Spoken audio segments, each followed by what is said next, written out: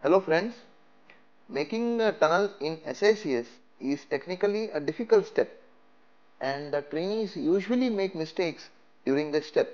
It has a steeper learning curve as compared to other steps in SICS. Here we can see that the surgeon is making the side pockets but this was not sufficient and uh, the surgeon could not recognize this problem because the tunnel is not very well demarcated.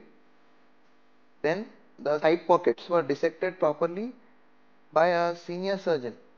Common mistakes during this step are inadequate side pocket construction and premature entry. Since the tunnel is inside the sclera and it is not directly visible, the tunnel construction and the keratome entry are a partially blind procedure dependent on more on estimation rather than visualization.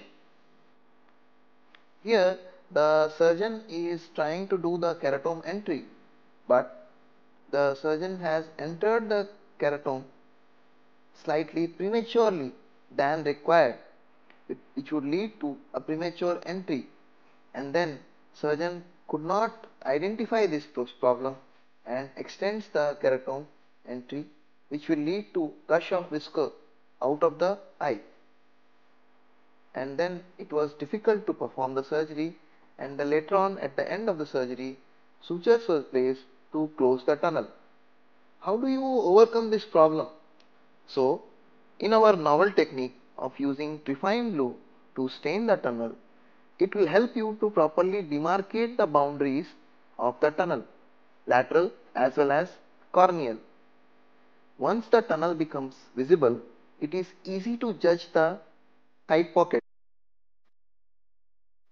Here the tunnel is being stained with the help of trypan blue and you can see the tunnel made is slightly smaller than required. So the surgeon goes ahead and construct the side pocket which is essential. Once the stained tunnel becomes visible, it is easy to judge the adequacy of the side pocket. It also becomes easy to know exactly where to make the anterior chamber entry with the keratome. Use of this technique will prevent complications such as small tunnel and premature entry. Here you can see that good sized tunnel with sufficient side pockets are so very well demarcated with the help of trypan blue. The keratome is introduced into the anterior chamber from the exact end of the tunnel and it gives you a well sealed valve like tunnel which will close very easily. Then the keratome is extended exactly at the border of the tunnel. This will you to have a good tunnel and good surgery. Here the surgeon has by mistake entered the keratome prematurely and it is very well visible just because of the demarcation. So having a demarcation helps you to identify complications early on. Here the surgeon is showing you the premature entry site and the correct keratome entry point.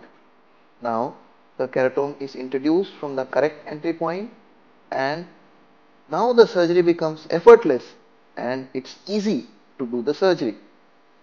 So this small modification, small but a novel and a simple modification will help you to have a good surgery.